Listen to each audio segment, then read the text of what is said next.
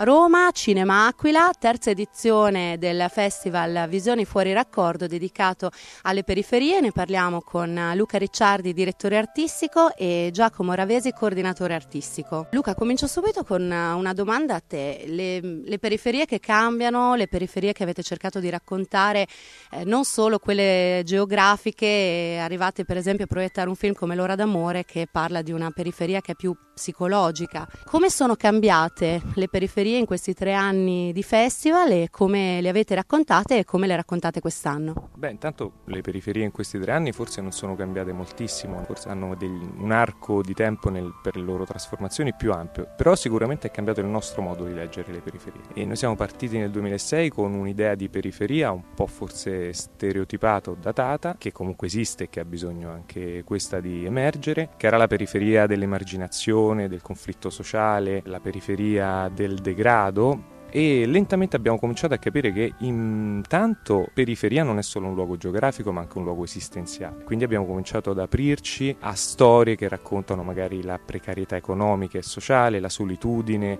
l'esclusione e poi eh, abbiamo cominciato a capire anche che le periferie sono in fondo il luogo dove vivono la maggior parte degli abitanti di una città non per forza sono degradate, non per forza sono eh, mancanti dei servizi primari, ma comunque sono luoghi che meritano una grande attenzione perché sono forse già il presente delle città e sicuramente il futuro. E quindi cerchiamo anche di includere in questa visione delle periferie quelle parti di città consolidata che però non fanno più riferimento a un centro cittadino, ma che in qualche modo si autoconsumano al loro interno con questi nuovi centri che sono i centri commerciali, i grandi centri commerciali dove in qualche modo si ripete in piccolo, in chiave consumistica classica, quella che è la forma della città tradizionale, con un centro commerciale col suo corso dove passeggiare il sabato e la domenica, le sue piazzette dove incontrarsi e fare relazioni sociali. Ovviamente tutto sotto il controllo del, del consumo e del commercio. Una domanda invece per Giacomo che cura diciamo, la parte artistica. Allora ci sono due sezioni, una dedicata alle periferie romane, una dedicata alle periferie italiane, c'è la, il fuori concorso e poi c'è la retrospettiva che quest'anno è dedicata alle case e alle donne. So che tu hai curato personalmente questa parte, per cui ti chiederei intanto come hai scelto questo tema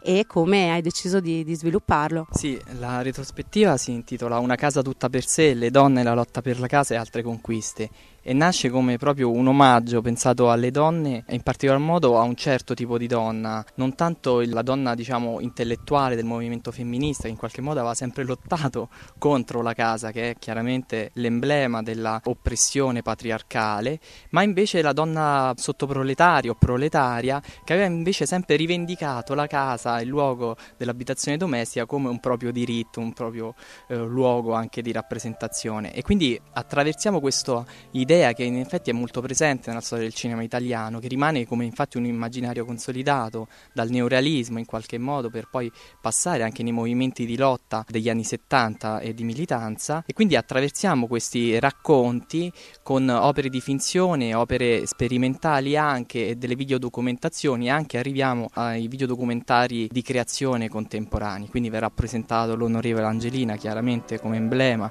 di questi approcci di Zampa del 47 e poi ci concentreremo sull'opera di Anna Laiole e Guido Lombardi che sono dei registi che vengono dalle esperienze dell'underground ma che poi sono stati anche i primi ad utilizzare il videotape in qualche modo come nuova avanguardia, il mezzo elettronico quindi come nuova avanguardia anche stilistica e tecnica per poi arrivare all'ultimo giorno a fare un confronto tra due donne di generazioni distanti come Cecilia Mangini di cui proietteremo Nostra Casa Quotidiana Essere Donne che ha lavorato un po' in tutta la sua carriera um, alla rappresentazione valutazione del ruolo della donna nella società italiana, soprattutto all'indomani del boom economico, mettendolo a confronto invece con un film eh, che è stato anche presentato alla Mostra del Cinema di Venezia, che si intitola Ragazze la vita trema, della documentarista Paola San Giovanni, che infatti attraverso le testimonianze di alcune donne riflette sulle rivendicazioni del movimento femminista oggi chiaramente. Allora, il festival parte giovedì 26 novembre, va avanti fino a domenica 29. Il programma, tutte le informazioni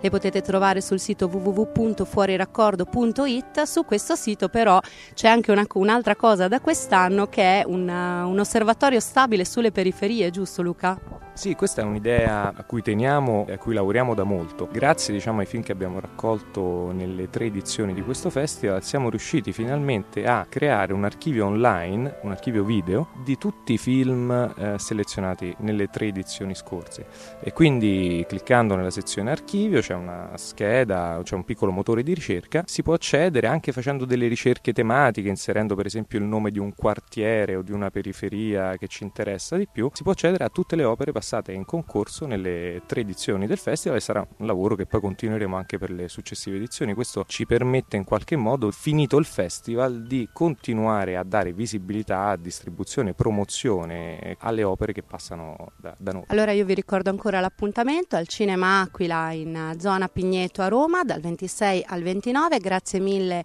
a Luca Ricciardi e a Giacomo Ravesi. Volete fare un saluto agli ascoltatori di Antract? Un saluto a questa trasmissione molto interessante e un saluto a Deborah che la realizza con grande impegno. Antract